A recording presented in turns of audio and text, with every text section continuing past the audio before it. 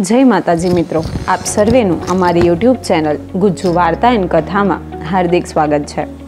મિત્રો, આપ સૌ જાણો છો એ જ પ્રમાણે અષાઢી બીજના દિવસે ભગવાન જગન્નાથજીની અપ્રતિમ યાત્રા એ એક અનેરું પર્વ છે. આપ સૌને જાણીને આશ્ચર્ય થશે કે આ ભગવાન જગન્નાથજીનું પણ લાખેણું મોસાળું છે. તો આ મોસાળું કેવી રીતે ખૂબ અગત્યનું છે અને શા માટે ભગવાનને મોસાળામાં લઈ જવામાં આવે છે?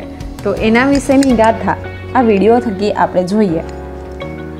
રથયાત્રા જ્યારે સરસપુર એટલે કે ભગવાનના મોસાળે આવી પહોંચે છે, ત્યારે ત્યાંના અતિ પ્રાચીન રણછોડરાયજીના મહંત શ્રી વાંચતે ગાજતે ત્રણેય રથોમાં બિરાજમાન. પોતાના ભાણેજો તથા રથયાત્રીઓનું ભવ્યાતિ ભવ્ય સ્વાગત કરે છે. ત્રણેય રથોનું વિધિવત પૂજન થાય છે. ત્યારબાદ યજમાન દ્વારા ભગવાનનું લાખેણું મોસારું પૂરવામાં આવે છે.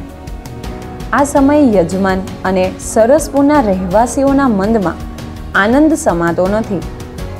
બહેન સુભદ્રાજી માટે સોનાના ઢોળવાળા ચાંદીના હાર, ભાગ એટલે કે પાઘડી હાથના પાટલા, સોનાની બુટ્ટી, સોનાની વીંટી, નથણી, ચાંદીની ઘૂઘરી વગે, વગેરે અલંકારિત સાડી, કપડાં તથા પાર્વતી શણગાર, ચૂડી ચાંદલો તથા ભગવાન જગન્નાથજી અને ભાઈ બલરામ માટે ભાગ એટલે કે પાઘડી, ધોતી, ઝભ્ભો, કાંડા ઘડિયાળ, પગરખા, અલંકાર, પીવાના પાણી માટે માટીના કુંભ, વિવિધ ફળ અને શુદ્ધ દેશી ઘીની મીઠાઈઓ તથા કિંમતી ચીજવસ્તુઓની પહેરામણી કરવામાં આવે છે.